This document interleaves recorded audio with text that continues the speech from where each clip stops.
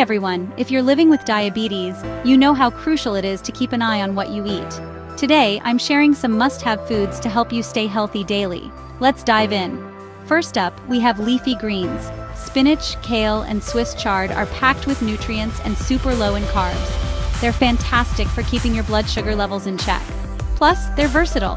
Throw them in a salad, smoothie, or saute them as a side dish.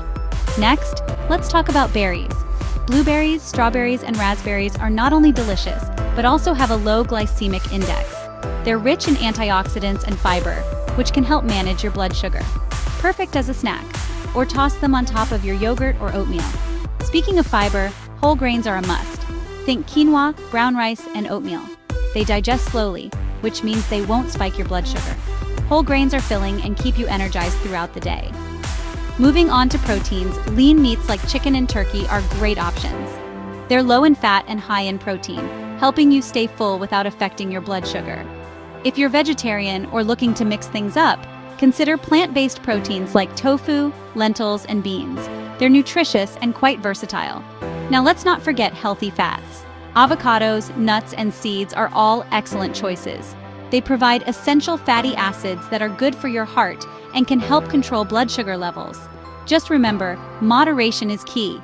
Fish, especially fatty fish like salmon, is another powerhouse food. It's rich in omega-3 fatty acids, which are great for your heart and can help reduce inflammation. Aim to include fish in your diet at least twice a week. Last but not least, don't overlook the power of hydration. Drinking plenty of water is essential for everyone, but especially for those with diabetes.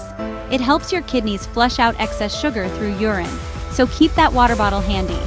To wrap things up, incorporating these foods into your daily routine can make a significant difference in managing diabetes. Remember, balance and variety are key. Always consult with your healthcare provider before making any major changes to your diet. Thanks for tuning in. If you found this video helpful, don't forget to give it a thumbs up and subscribe for more tips.